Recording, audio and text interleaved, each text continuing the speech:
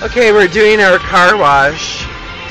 Uh, because I came back from Tucson, and the car is like, like beyond control. If all of you have not been in those, hey, can you name that tune right now? Do you know who sang this song? I know. For me, it's like a carnival ride. I love car washes. So if you can name this tune,